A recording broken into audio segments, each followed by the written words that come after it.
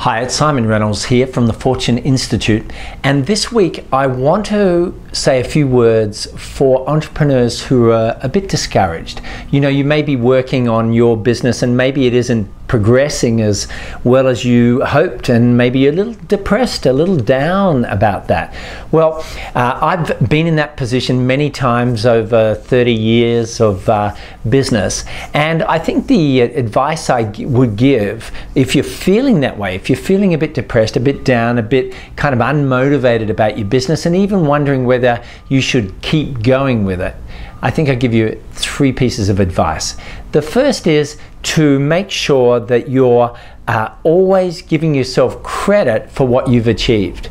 I do that two ways. Number one, make a list of all the things you've achieved since you started your business, the things you've learned, the steps you've take, taken forward.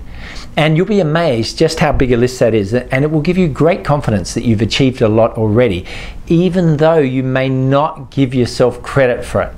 And secondly, at the end of every week, put a, a, list together of the stuff you've done to move the business forward. Because as entrepreneurs, we spend a huge amount of time beating ourselves up.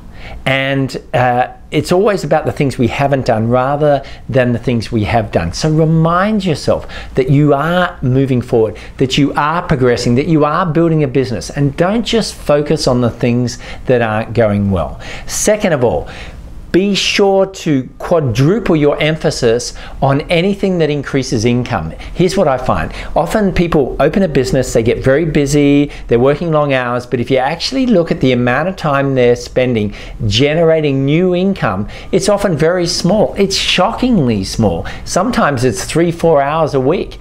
But think about this. If you could get that up to 10 hours or 15 hours or 20 hours a week, focusing on generating income instead of just doing emails, answering phone calls, talking to suppliers, etc. I tell you what, you're going to find a major, major difference in the speed of your company's growth. And then finally, what I'd say is if you're looking to, uh, to get out of a slump in your business, go and look at your most successful competitors. See who's a leader in the field and copy a lot of the strategies that they do.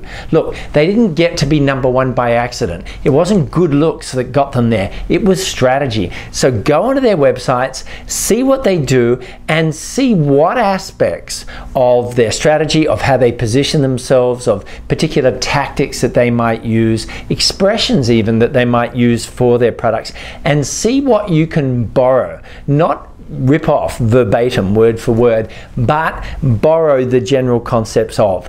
And I think you'll find if you take a lot of their stuff that's worked for them, it's going to work for you too. So have a look at those three tips. If you're feeling down, remember this there is a way out, there is a way forward, and it's just a matter of finding it. Start with those three techniques and then keep the mindset that there's always a way, and it won't be long before your business will be a great success.